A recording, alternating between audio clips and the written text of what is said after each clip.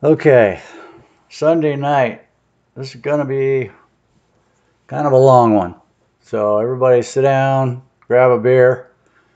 Um, we're going to go through a couple things. I told you guys earlier, uh, we're going to do a legal notice and demand, copyright infringement notice. Um, and because I operate in private, uh, I'm not going to show you guys my legal notice and demand. Uh, I had to pay a chunk of money for that. And I've already told you it'll be in the description, securedservicesco.com, secured services company.com. They're the ones that help me with all my secured party and my UCC filing and my legal notice and demand and my copyright and my UCC 3 addendum and my collateral and my notifications to the Secretary of State uh, the Secretary of Treasury, my Form 56, my Form W8BEN.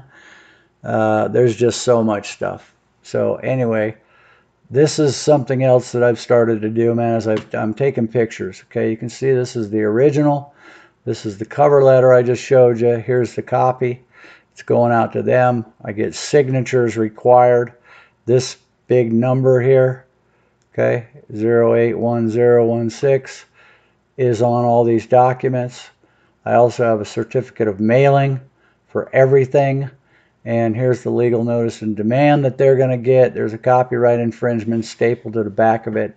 So this is something else I would suggest that you do. Keep good records. And this is what the cover letter says. We're way past they're in default okay? It's from me to them this is what it is. Okay. You're on notice. You failed to respond. Your opportunity to cure has expired. You failed to validate. Okay. Creating an irrevocable estoppel. Okay. Which means you are no longer uh, you no longer uh, are uh, legally and lawfully allowed to try to collect because you didn't respond. Okay, that's how it works in commerce. Uh, and then I showed you in other videos the discovery without leave, the one with the answers, no civil dispute, validation letters, uh, validation of uh, debt letters. I just said that. Um, that's what you get when you look at the clock because I'm waiting for Game of Thrones. Um, yeah, so they didn't respond to anything, okay? So you're in copyright breach, you're administering property that's not yours because all that stuff is mine now because I put a commercial lien on all of my stuff, okay? So this is just the cover letter, okay? And that is going out, here it is, okay? This is going out May 20th, okay? So we're gonna do this and it's got the legal notice and demand. It's got the copyright in there. Okay, you can see it just barely right there. Um, so the other thing that I've been working on, this one is kind of cool. So because we are in commerce and because they're operating in the public, and it's my belief, um, okay, before I go any further, this is my opinion. I'm not a law firm. This isn't legal advice. Okay, this is just my opinion. This is something I'm doing. If you want to do it, great. If you don't, you know, if you want to copy a little bit of it or do whatever, write it down. You want maybe a copy of it so you can look at it and, you know, whatever, whatever. Um, this isn't legal. This is, if you look at the bottom of the YouTube channel, this is for education only. Okay? All right, so now we got that out of the way. So this is a going to be a commercial affidavit, affidavit of notice, declaration and demand fair notice and warning of commercial grace, okay, because their grace period is ending. Uh, I sent them all that paperwork and they ignored me.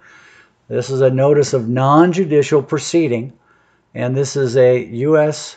This is the Security and Exchanges Commission tracer flag, okay, not a point of law, okay. What you're trying to do is be in commercial and be in private. Now, that tracer flag is right here. You see that? Okay, this is a non-War Powers Act flag. Okay, so you're coming at them with, sorry, had a brain fart. You're coming at them with clean hands. Okay, So this is something that's kind of cool. All right, so let's go through this as quick as we can here. So you're going to put your name and address up here. You're going to put to the parties, okay, whatever, address, phone, zip code. This is an action and in is this action is taken in accordance with the Uniform Commercial Code and contract law. Okay? I'll let you read this. Okay? Then you put your name and you put whatever you are. You know, I'm, you know, a sovereign citizen, glow in the dark patriot, trustee of a trustee, whatever. Okay? I'm competent to state to the matters set forth herein. I have personal knowledge. All the facts stated here are true and correct, right? We've all done through that. Veracity, that means accuracy. That the eternal exchanged principles of commercial law are, and these are cool, a workman is worthy of his hire. All are equal under the law. Well, do you feel like they're treating you equally? When they give her your house and your car and your, you know, your 401, right? and then they take 60% of your money. In commerce, truth is sovereign. Truth is expressed in the form of an affidavit. An unrebutted affidavit stands in truth in commerce. An unrebutted affidavit becomes the judgment in commerce. Huh, I didn't know that. All matters must be expressed to be resolved. So we've been through that before too. If you don't bring it up, they're just going to act like it doesn't exist. Okay? They're going to presume and assume and make an ass out of you. He who leaves the battlefield first loses by default. You know, these are like maxims of law. You don't steal, you don't bear false witness. Sacrifice is the measure of credibility. No willingness to sacrifice, no liability. A lien or a claim can be satisfied only through an affidavit by point for point rebuttal. Okay, did they ever do that? Hell no.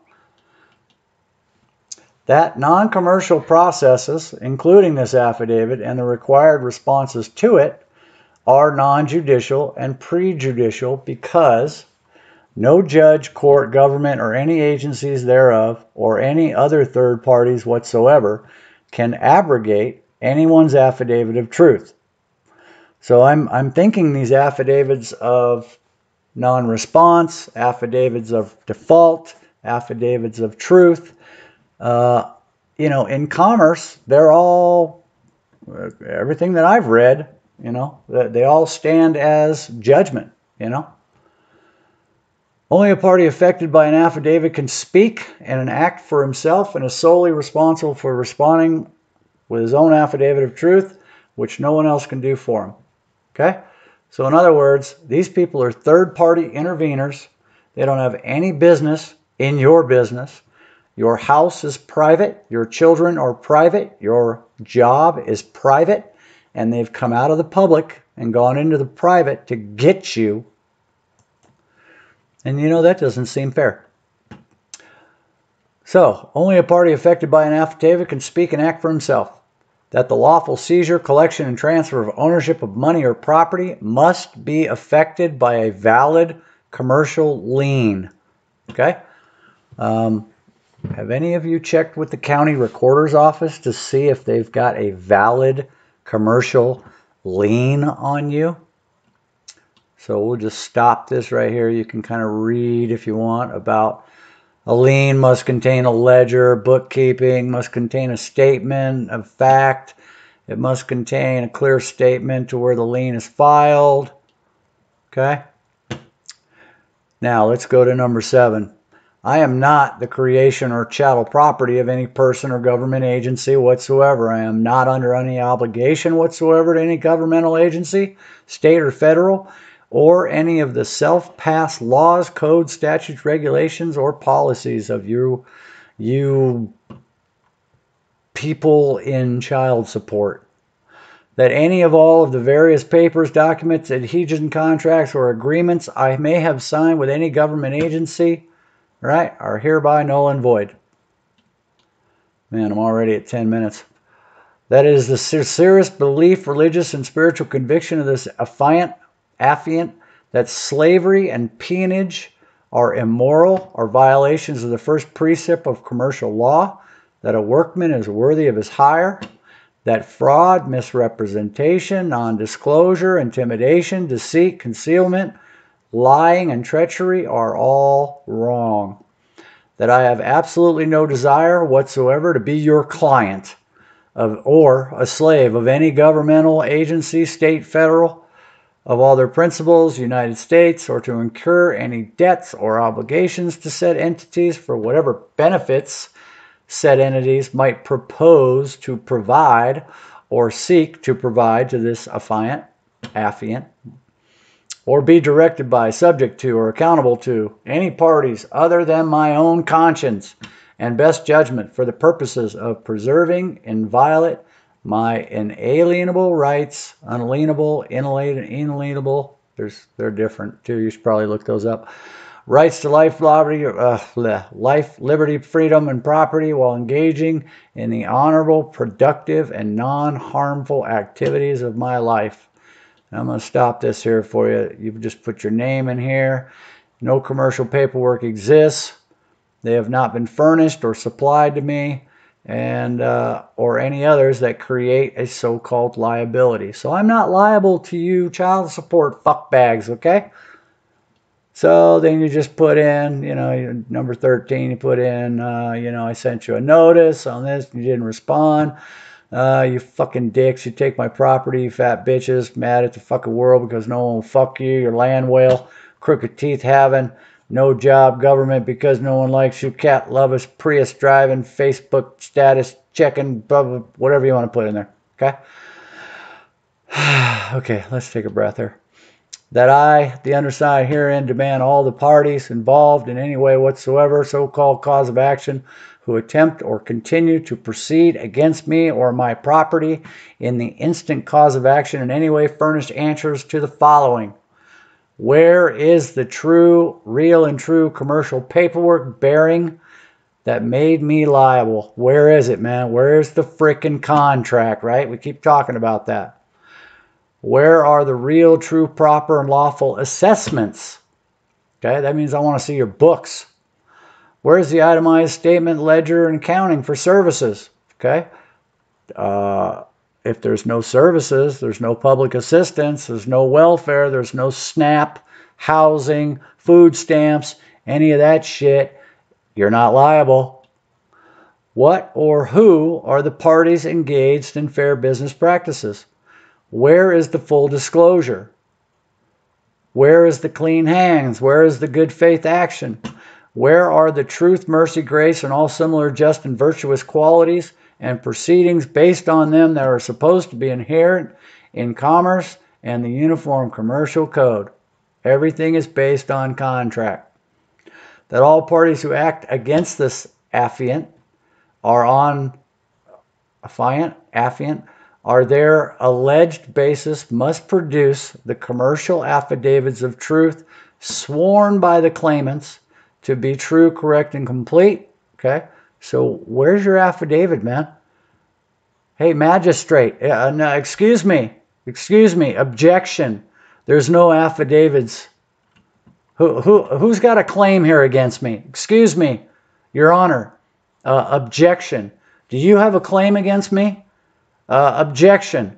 Uh, who in this room has a claim against me? Okay, can I see your affidavit, please? Okay?